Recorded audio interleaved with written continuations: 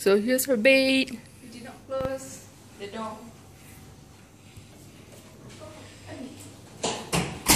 So let's go to the other side. Oh, there's two entrances to the bed.